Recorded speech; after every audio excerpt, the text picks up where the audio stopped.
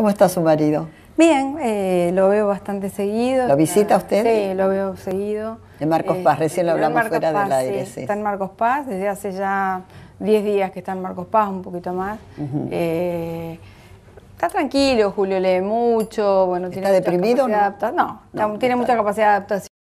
La detención en el caso de mi marido, yo quiero ser absolutamente clara, y esto todos en esta mesa lo tienen claro, fue una detención preventiva para hacer todo un show mediático también en el Congreso Nacional y con el único objetivo de decir que Julio estaba obstruyendo o podía obstruir eh, la investigación judicial. Señora Lali, ¿usted considera que ninguna de estos cargos, en ninguno de estos cargos su marido es culpable? En ninguno de los ¿En cargos es culpable, señora. ¿Y por qué la ninguno opinión- de los y por qué la cargos. opinión pública Y bueno, porque lo que pasa es que la opinión pública Está está, condenado, muy... ¿eh? No, bueno, justamente, mi marido tiene una condena mediática. Si yo estoy hoy con usted, es justamente porque me he dado cuenta que ante una condena mediática, la- en realidad la defensa tiene que también ser mediática, que es lo que no pasó en las causas de mi marido, porque él nunca tuvo un perfil como para salir a, digamos, a defender este ataque tan terrible que ha tenido desde todos los lugares. Y es un ataque que se remonta, yo diría, al año 2004, cuando aparecieron las primeras tapas de la revista Noticias, poniendo el cajero